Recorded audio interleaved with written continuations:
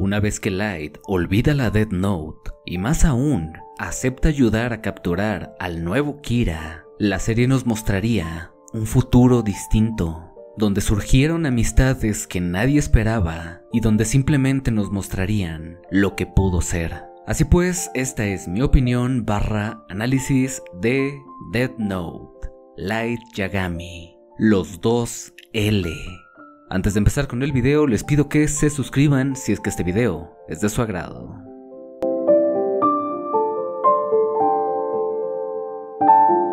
Bajo una nueva visión, Light y L comienzan a trabajar juntos para capturar a Kira. Una situación rara, pero que dada la personalidad de Light parece correcto. Una de las cosas que sabemos de Light desde el comienzo es su forma de ver el mundo, una donde sabe que éste se pudre lentamente, los criminales son demasiados y las personas parecen no ser capaces de hacer algo. Sin embargo, es muy posible que durante un tiempo, antes de perder la fe en la humanidad, si quisiera hacer algo contra esto. Justamente, ahora que está junto a L, tiene esa posibilidad. Una opción diferente a la Death Note, una versión distinta que le permite tener poder para cambiar al mundo e intentar hacer de este algo mejor. Y claro, todo desde un punto de vista bueno.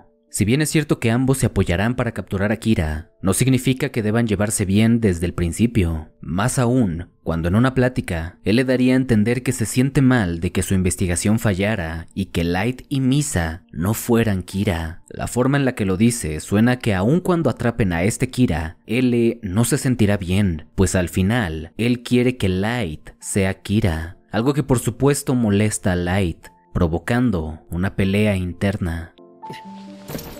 龍崎あ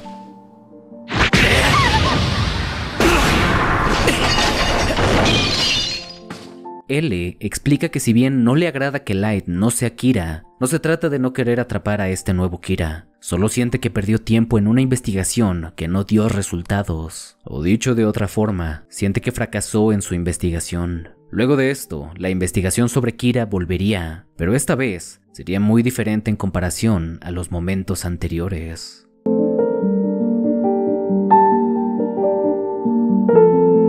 Cuando la investigación sobre el nuevo Kira comienza, pasarían dos cosas que marcan una diferencia, actos que permiten descubrir que el poder de Kira es transferible. En primer lugar, los asesinatos a criminales son periódicamente y significativamente menores, y en segunda, comienzan a morir empresarios. Si bien es cierto que más de uno puede entrar en los criterios de Kira, hay una empresa que se empieza a beneficiar de estas muertes, haciendo obvio que Kira está con ellos o que incluso es uno de ellos. Luego de investigar un poco más, deciden tomar acción, mandando a Misa a investigar un poco, pues al final es una ídola en crecimiento y su publicidad podría ser útil a esta empresa. Bajo esa excusa, entrarían. El plan que arman es hacer que Misa, junto con Matsuda, el cual actúa como su representante, investigue algo sobre Kira, pero Matsuda logra descubrir mucho más que simples pistas.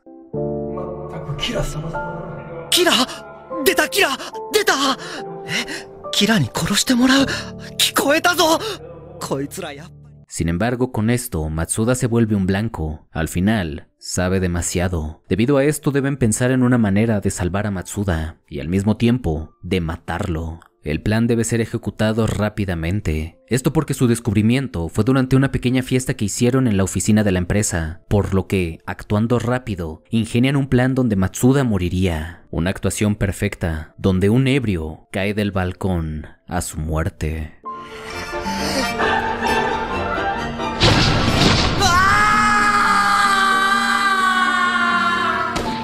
Con esto, Matsuda está libre de peligro y gracias a su descubrimiento, empiezan un plan distinto. Saben que Kira está en la mesa directiva, pero aún no saben quién es, por lo que elegirían a una persona cuya ambición les ayudará a capturar a Kira. Al final, son empresarios, los negocios, los tratos. Esa es su especialidad.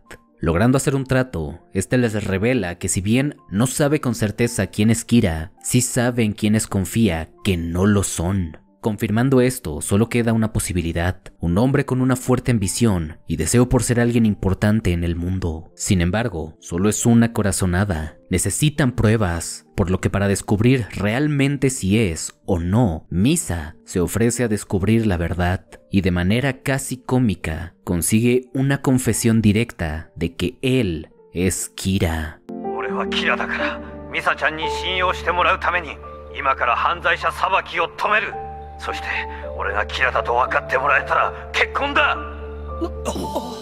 Con esto, ya solo queda una cosa por hacer.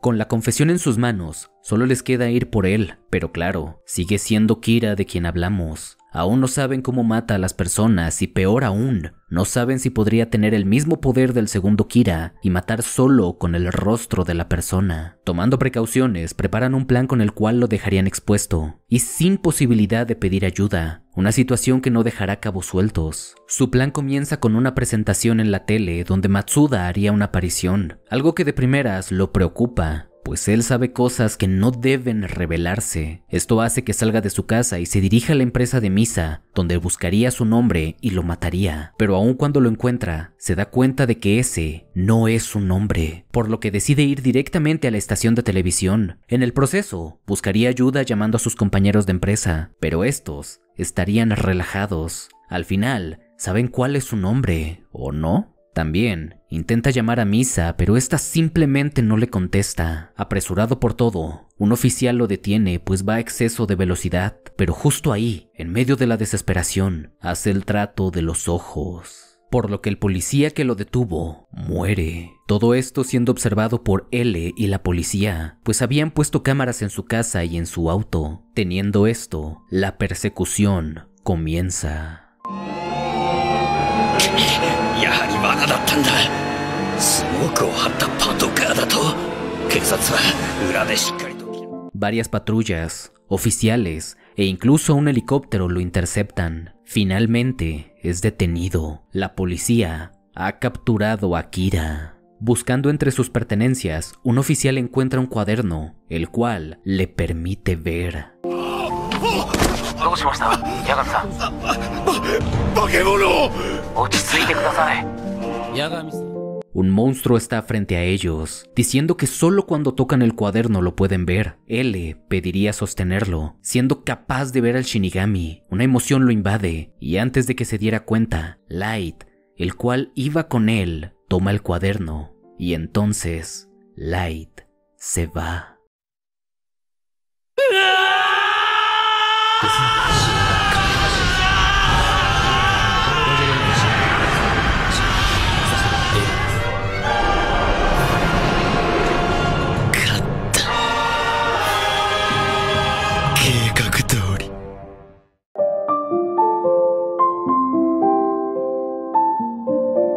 Ya sé, ya sé, ya lo sé. Esta misma semana se sube la siguiente parte hablando específicamente de ese momento. Pero denme chance, porque si lo ponía también en esta parte, el video, aparte de que se iba a ser mucho más largo, muy probablemente no lo iban a terminar de ver correctamente y se iba a perder en el contenido del video. Y no es algo que quiero, es algo en lo que quiero hacer mucho énfasis, ya que pasan demasiadas cosas con una sola acción, tal cual, antes, durante y después. Son demasiadas las cosas que transmite ese momento. Así que va a ir en su propio video, va a tener su propia explicación y en ese voy a tratar de hacer un análisis más profundo a diferencia de solamente dar una opinión. Vamos a ver cómo sale, pero sí, por eso va a ir aparte. Se sube esta misma semana, muy probablemente el viernes, pero sí, va aparte. Ahora bien, hablando de esta vida que Light pudo tener, es sin duda interesante cómo la mente de ambos, tanto de Light como de L, se parece más de lo que quisieran aceptar. Si bien tienen métodos distintos, ambos llegan a la misma conclusión, además de que ambas son igual de buenas. Algo que me gusta mucho es cómo nos muestran que Light realmente quiere ayudar al mundo. O sea, genuinamente sí creo que si nunca se hubiera encontrado con la Death Note y hubiera avanzado un poco más en su vida, superando un poco esta depresión en la que estaba, hubiera entrado en el departamento de policía como un muy buen detective. Y estoy seguro que por lo mismo, en algún momento hubiera llamado la atención de L. Y en ese momento estoy muy seguro que hubieran sido grandes amigos de igual manera. Sin duda, un futuro que hubiera estado interesante explorar, tal vez en una especie de what if, pero estoy seguro que sería muy interesante de ver cómo resultaría ese futuro sin la Death Note.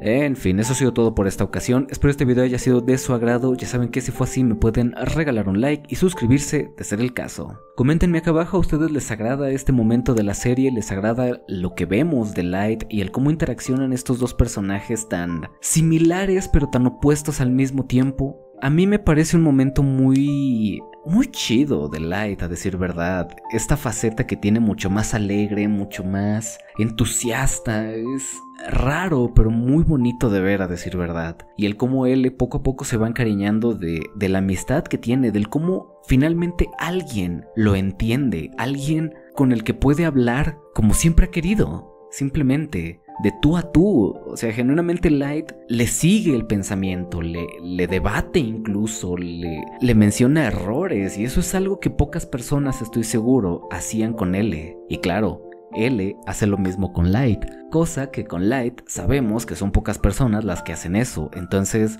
sí es muy interesante todo lo que pasa. Una lástima el cómo termina, ya lo hablaremos en la siguiente parte, pero Sí, es un gran momento del personaje a mi parecer y que pues simplemente es mostrarnos una ventana a algo distinto. Pero pues nada, pues eso ha sido todo por esta ocasión. Nos vemos esta misma semana con más contenido. El miércoles se viene video de Katekyo Hitman y el viernes la siguiente parte de esta opinión análisis de Death Note, específicamente de Light Yagami.